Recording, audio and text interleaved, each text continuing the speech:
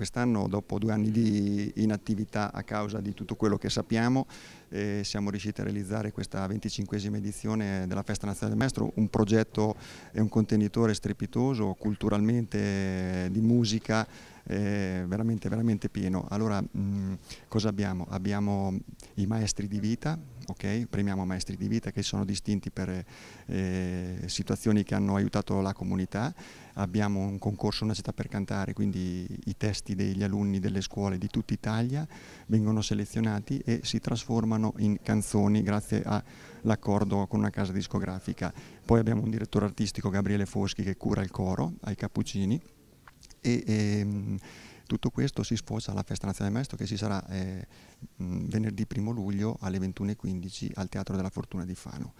E, ehm, abbiamo quindi questi maestri di vita, tra cui eh, maestro d'onore la senatrice Segre, perché abbiamo fatto proprio un tema dedicato all'argomento eh, molto delicato legato alla Shoah e alla persecuzione degli ebrei dagli nazisti. Un ragazzo, una ragazza col suo tema eh, ha colpito nel segno e l'abbiamo trasformato in canzone. Quindi canteremo il coro diretto da Gabriele Foschi, canterà le canzoni eh, dei temi del concorso.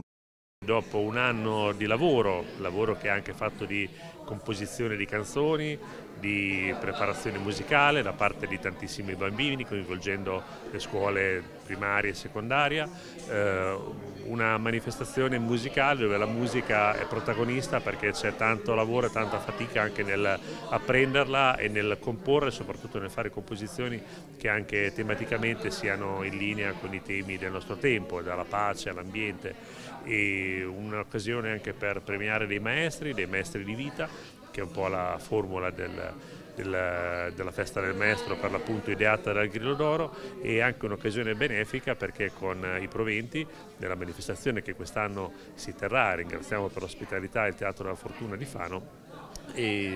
darà la possibilità di eh, finanziare l'attività della scuola Magnificat di Gerusalemme, fondata da padre Armando Pierucci, che anche quello è un presidio di cultura di pace e di incontro interreligioso e interculturale fondamentale e soprattutto è un bellissimo eh, raccordo con Pesaro, città della musica UNESCO.